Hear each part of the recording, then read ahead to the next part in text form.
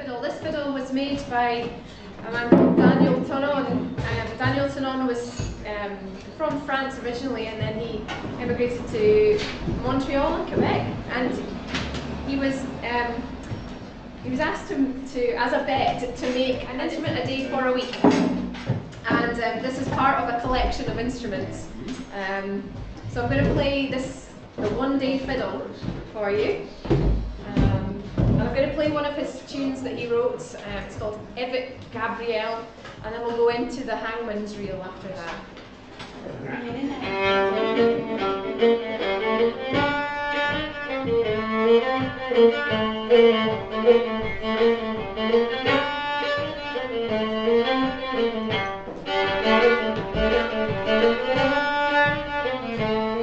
Thank you.